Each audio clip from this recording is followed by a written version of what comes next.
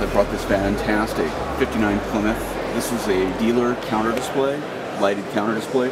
What it does is it comes down and you can insert whatever color combination you want. So you can have like blue and red, or blue and black, or white and black. I also brought with me a chocolate box sample catalogs. They're showing potential buyers you can get chocolate boxes, and those are all hand-colored photos on that.